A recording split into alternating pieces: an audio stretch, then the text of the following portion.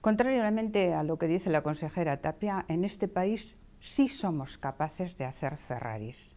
Es eh, increíble eh, que se pueda pronunciar esa frase en un lugar en el que tenemos empresas punteras en el campo de la aeronáutica, empresas capaces de entregar componentes a aceleradores en el mundo de gran precisión. Eh, con la decisión hoy anunciada de no construir un acelerador en el Parque Científico de Lejona, el gobierno de Urcuyu, está dando un golpe de gracia a la investigación científico-tecnológica en el País Vasco.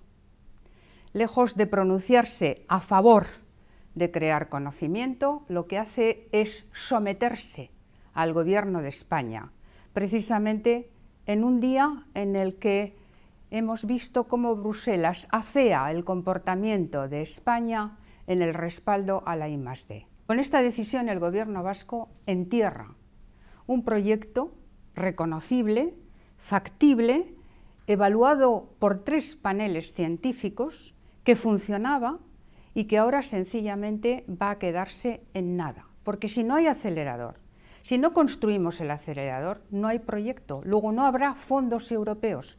Seremos unos meros servidores del Lund.